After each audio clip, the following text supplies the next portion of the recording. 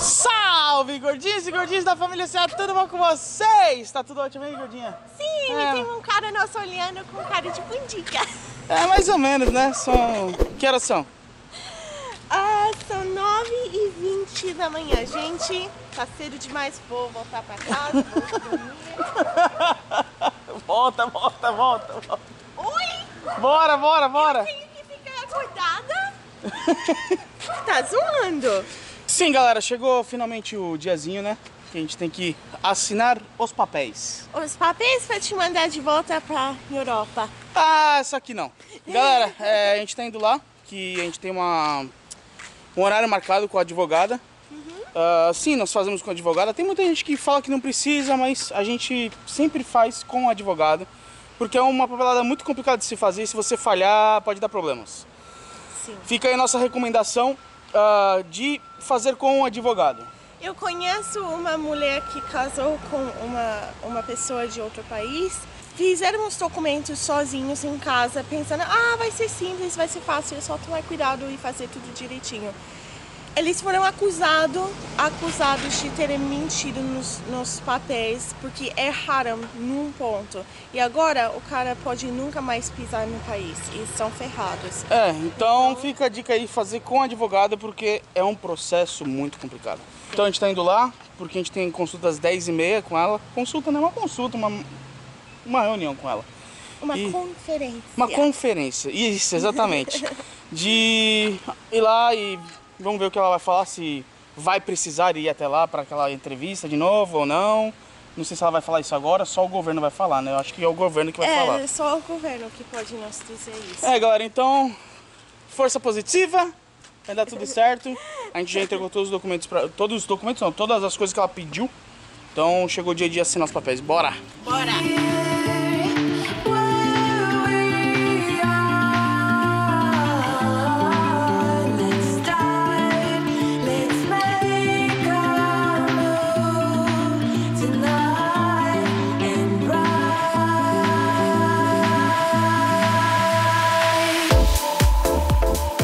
Tinha, né, que pegar um cafezinho.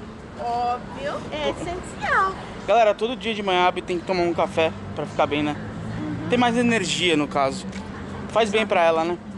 Então, depois dessa pausa aqui, eu não tomei nada, não peguei nada. Quer tomar um Não, tô legal. Eu pedi com mais cafeína. Com cafeína Mais extra. cafeína? Cafeína. Essa é de manhã, a gente entende. Exato. Tá, fica tranquilo.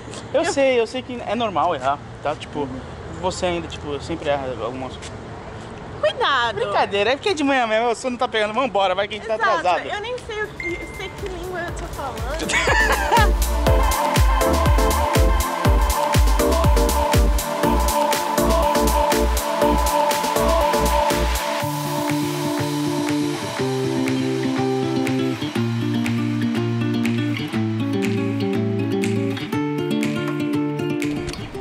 pelo jeito o café tava bom, hein? E aí, tava bom? tava, tava. Tá cansadinha, né, bebê? Tô. Quando voltarmos pra casa eu vou cochilar um pouquinho. Mentira! Por quê? Ok, vamos almoçar. Não, vou dormir. Ou seja, vocês percebem que eu passo fome, né, gente? Eu sou um gordinho por ser gordinho mesmo, porque eu passo fome, tá vendo? É uma brincadeira, não passo fome, né? Bom, vamos lá, que a gente tá dentro do horário. Faltam aí 15 minutos ainda. Sim. Isso é bom, a gente vai chegar cedo na nossa consulta, porque... Né? Pra não ficar apertado na hora da, dessas consultas que é complicado. A gente fica um pouquinho tenso, né? Normal.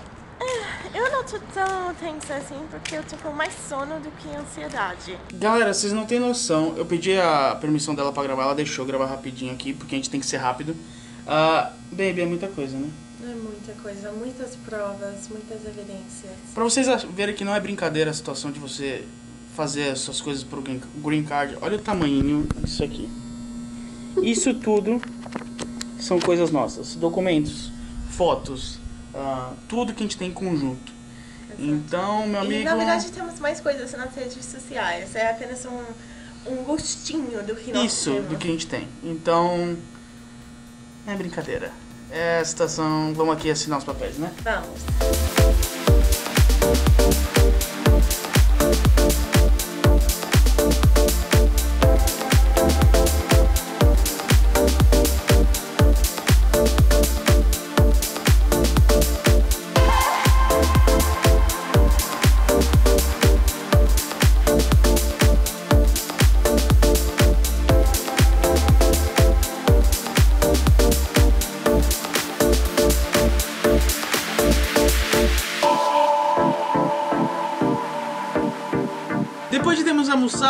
Almoçado, a gordinha ter descansado um pouquinho, a gente também falou com meus pais, por isso a gente tá gravando um pouquinho mais tarde. Vamos lá. A gente vai explicar mais ou menos pra vocês o que passou lá pra gente. E lembrando que isso muda muito de casal pra casal e o nosso caso é só pra casamento. Sobre outros casos a gente não sabe, a gente só fala aquilo que a gente sabe, certo?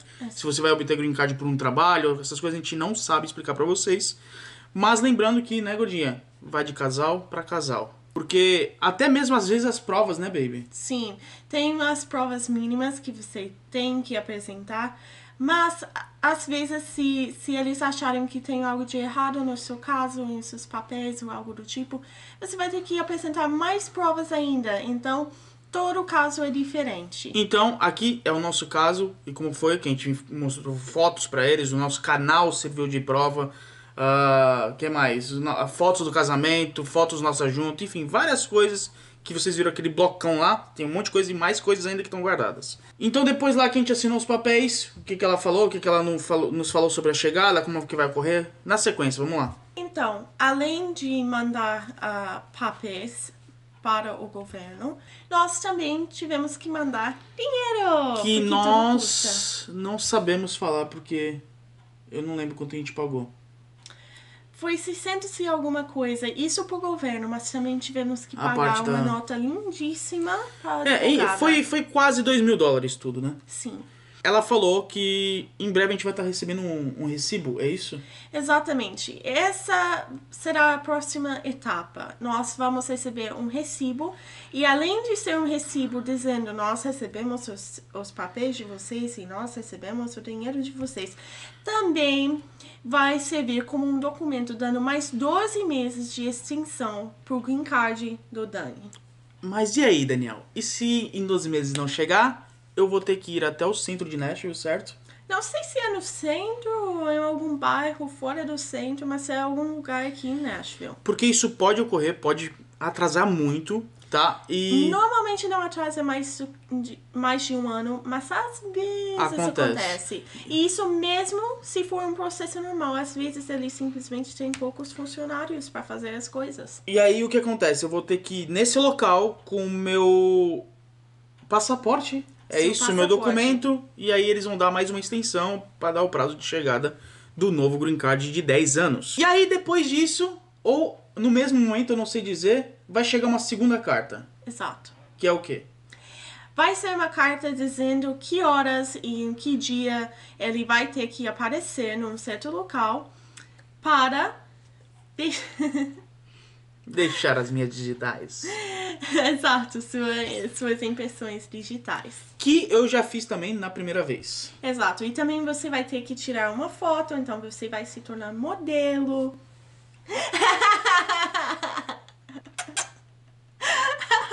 Ah, enfim, eu já fiz isso. é, Você vai lá, você assina, fala, pergunta seu nome e tal, aí você põe as digitais. É simples, é mais simples que a entrevista, sério. É muito Eu simples. fiquei muito com medo da primeira vez, mas, cara, muito mais simples que a entrevista. A parte mais chata é que você tem que sentar numa cadeira dura por muito tempo esperando ser chamado pra, pra deixar sua impressão.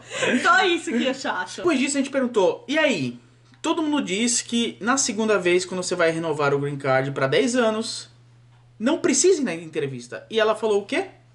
Ela falou que tem uma chance de 50% de que você vai ser chamado para uma entrevista. Nós, na verdade. E isso é aleatório. É um computador que gera nomes de pessoas que têm que ser entrevistadas. Então, se a gente for chamado para isso, não, não é um mau sinal de Não. nada. É apenas uma coisa aleatória do, do sistema do computador deles. Exato. E a gente tá torcendo pra que não, galera, porque é mais custo ainda de viagem, porque não é em Nashville, é em Memphis. E a média, como a gente falou, né, é um ano de espera. Vamos aguardar que isso seja menos e mais breve possível. E aí, Daniel, depois disso tudo, recebeu o cartãozinho novo, 10 anos, pá, na balada e tal. E aí? A próxima vez quando você for renovar, você tem que ir na entrevista novamente? Você tem que fazer esse, todo esse processo de novo de provas? Não! Não. Na verdade, depois ah, dessa renovação, porque essa renovação não é apenas uma renovação, nós também estamos aplicando para que eles retirem as restrições do green card dele. Quais são as restrições? São simplesmente que se ele me deixar, ah, o green card dele não, não será mais válido e ele vai ter que dizer adeus pro, pro país.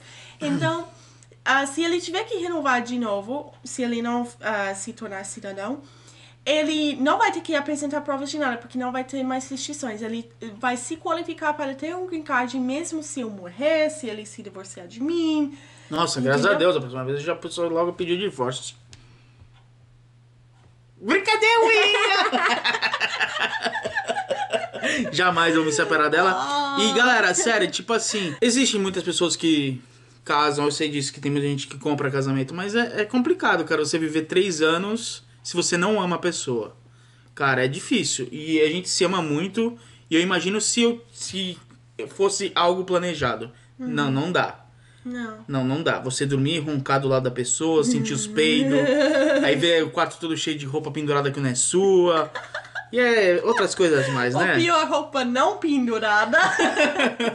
que geralmente é o caso. E aí, pra um, pra um futuro, a gente vai decidir ainda se eu vou fazer cidadania. Não sei ainda, mas existe uma chance. E pra isso você precisa ser 100% fluente. Vai, 95%. É. Então, isso é mais pro futuro. A gente não sabe quando vai acontecer, mas quando acontecer, vocês vão saber, certo? Esse foi um vídeo explicativo. Foi mais explicativo do que nosso, nossa vida, mas contando que foi nossa vida que a gente É, nós fez. estamos explicando a nossa vida, porque o green card é a nossa vida. Mas, gordinha, pra quem assistiu o vídeo até aqui e deixar nos comentários qual que é a hashtag. Hashtag renovação. Então, se você assistiu até aqui e tiver alguma dúvida, algum assunto legal que a gente pode até fazer um vídeo sobre, deixa com a hashtag no- na- nos comentários que a gente vai estar lendo. Não se esqueça de deixar aquele Like. like. Se inscreva no canal se você é novo, porque é muito importante nessa bolota que está aparecendo aí com o símbolo do canal. E o que mais, gordinha? E assistam os dois últimos vídeos que estão aparecendo agora na tela. Exatamente. Então é isso, galera. Obrigado por tudo. Tamo junto Misturado. Tchau! Green, green card. Turu, turu, turu. Green. Não seria melhor se fosse um purple card?